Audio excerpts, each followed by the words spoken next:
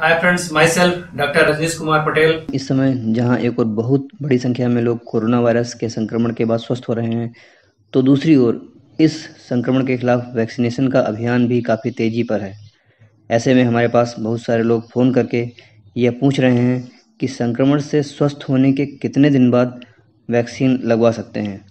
और यदि हम वैक्सीन की पहली और दूसरी शेड्यूल्ड डेट के बीच में संक्रमित हो गए हैं तो वैक्सीन की दूसरी डोज कब लगवानी चाहिए? आइए जानते हैं एक्सपर्ट बॉडीज़ की इसके बारे में क्या राय है। कोरोना वायरस के संक्रमण के बाद हमारे अंदर इसके प्रति नेचुरल इम्यूनिटी उत्पन्न होती है, जो लगभग तीन से छः महीने तक रहती है। इस लिहाज से न्यूनतम और अधिकतम अवधि जिसके बाद वैक्सीनेशन होना चाहिए, वह क्रमशः तीन और छः महीने हैं। यूएस सीडीसी अर्थात United State central for disease control के अनुसार संक्रमण से स्वस्थ होने के तीन महीने बाद वैक्सीन लगवाना चाहिए।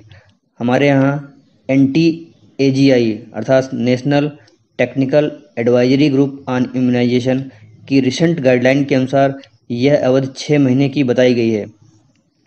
ये दोनों ही अवधियाँ नेचुरल इन्फेक्शन के उपरांत उत्पन्न हुई इम्यूनिटी के क्रम से न्यूनतम यानी कि तीन महीने और अधिकतम यानी कि छः महीने से मेल खाती हैं। जिन लोगों को अभी तक कोई संक्रमण नहीं हुआ है, उनको एन ने अपनी रिसेंट गाइडलाइन में कोविशील्ड वैक्सीन की दोनों डोज के बीच का अंतराल बढ़ाकर 12 से 16 हफ़्ते कर दिया है, जबकि कोवैक्सीन के लिए यह अंतराल वही पुराना चार हफ़्ते का है।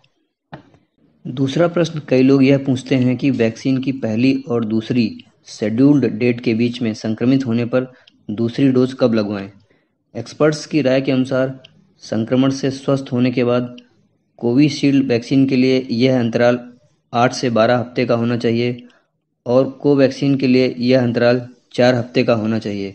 यहाँ पर यह बात ध्यान देने वाली है कि दोनों वैक्सीन के लिए यह समय अंतराल लगभग उतना ही है जितना एक सामान्य व्यक्ति के लिए पहली और दूसरी वैक्सीन की डोज देने के लिए निर्धारित किया गया है।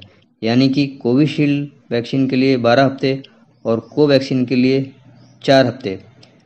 डब्ल्यू एच ओ के निर्देशानुसार वैक्सीन की उपलब्धता में देरी होने पर इस समय अंतराल को छः महीने तक बढ़ाया जा सकता है, क्योंकि संक्रमण के बाद लगभग छः महीने तक इसके खिलाफ नेचुरल इम्यूनिटी रहती है।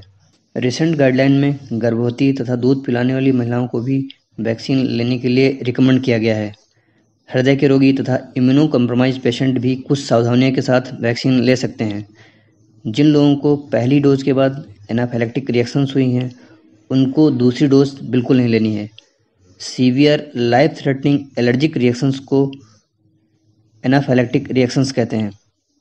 वैक्सीन की जो ब्रांड पहली डोज में लगाई गई है, उसी ब्रांड का उपयोग दूसरी डोज में होना चाहिए। इस मैसेज को ज़्यादा से ज़्यादा लोगों में शेयर करें। जिससे वैक्सीनेशन संबंधित इन महत्वपूर्ण सवालों के जवाब उन लोगों को मिल सकें। Thanks for watching this video